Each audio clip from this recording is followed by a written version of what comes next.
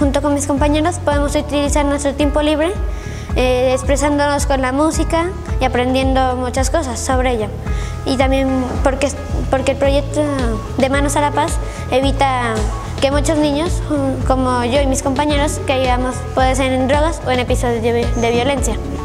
Me gusta la profesora porque, porque, aunque a veces es muy exigente, pero a veces es, es muy amable con nosotros.